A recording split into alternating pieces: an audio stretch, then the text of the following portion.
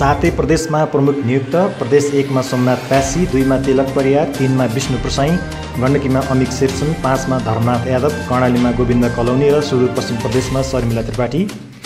प्रदेश प्रमुखमा आफूले सिफारिस गरेका नाम नपरेपछि नेकपा नेता माधव नेपालको असन्तुष्टि नेपालले रौजी पन्त विश्वकान्त मैनाली वेदराम भूषाल र श्रीमाया थकालीको नाम अघि सारेका थिए।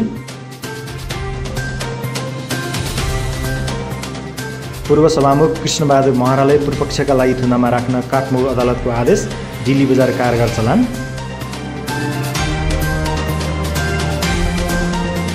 काङ्ग्रेस सांसद मोहम्मद आफ्ताब आलमसहित दसजना विरुद्ध सर्वस्वसहित जन्मकैद माग दावी गर्दै अभियोग पत्र दर्ता।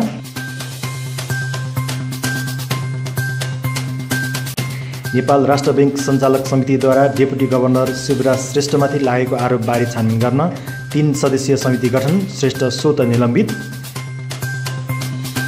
चिकित्सा शिक्षा अभियन्ता डाक्टर गोविन्द केसीले सत्रौँ आमरण अनसन डनलधुरामा गर्ने। बजाङको बुङ्गल नगरपालिका एक कालागाडमा निर्माणाधीन कालङ्गा हाइड्रो पावरको सुरुङभित्र थुनिएका चार मजदुर चौबिस घन्टापछि मृत फेला। सिन्धुपाल्चोकको सुकुटेमा आइतबार भएको बस दुर्घटनामा मृत्यु हुनेको सङ्ख्या उन्नाइस पुग्यो सत्रजनाको शनाखत।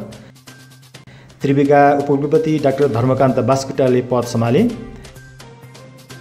बेलायत स्थित हाउस अफ लर्ड्समा नेपाल भ्रमण वर्ष दुई हजार बिसको प्रचार प्रसार गरिने ओल्ड ट्राभलर मार्केटमा पनि नेपाल सहभागी हुने। एसियाली विकास ब्याङ्कद्वारा नेपालको कृषि विकास र खाद्य सुरक्षा सम्बन्धी नीतिगत सुधारका लागि साढे पाँच अरबभन्दा बढी परिमाणको ऋण स्वीकृत। अत्याधिक वायु प्रदूषणका कारण भारतको राजधानी नयाँ दिल्लीमा सोमबारदेखि जोर बिजोर प्रणाली लागू भारतमा शनिबार अदालत परिसरमै वकिल र प्रहरीबीच झडप भएको विरोधमा सोमबार दिल्लीका सबै जिल्ला अदालत ठप्प।